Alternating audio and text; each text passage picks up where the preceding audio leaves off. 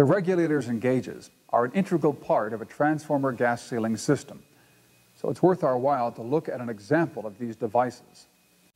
This is a typical arrangement of pressure regulators and gauges found with power transformer gas sealing systems.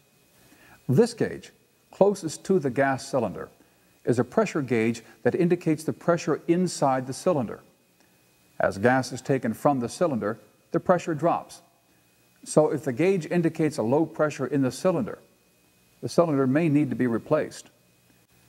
This gauge is a pressure vacuum gauge, commonly called a compound gauge. It indicates the pressure inside the transformer enclosure. If the pressure is too high, or if the gauge indicates a vacuum, corrective action may have to be taken. These devices are the regulators.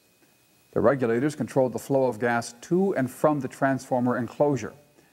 The regulators also reduce the high pressure from the cylinder to a safer, lower pressure in the transformer enclosure. Finally, this device is a pressure relief device. When the pressure inside the transformer enclosure exceeds a predetermined high value, some of the gas in the enclosure is released through the pressure relief device to atmosphere.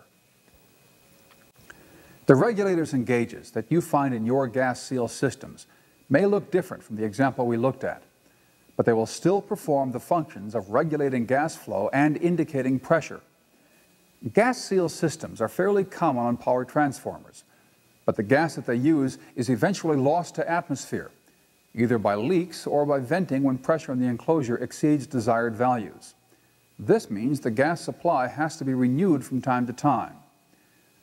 To avoid this problem, some transformers use other sealing systems. The next system we're going to look at is a conservator type sealing system. The main recognizable feature of conservator type sealed power transformers is an external tank mounted above or near the transformer at a level that is higher than the top of the transformer. Let's look at an example. Here's an example of a power transformer with a tank mounted above it. When you see a tank like this connected to and mounted above a power transformer, it generally means that the transformer is a conservator type sealed power transformer. In a transformer like this, the transformer enclosure is completely filled with oil, so that there is no room for air and moisture to enter. The conservator tank provides a place for the oil to expand when the oil becomes heated.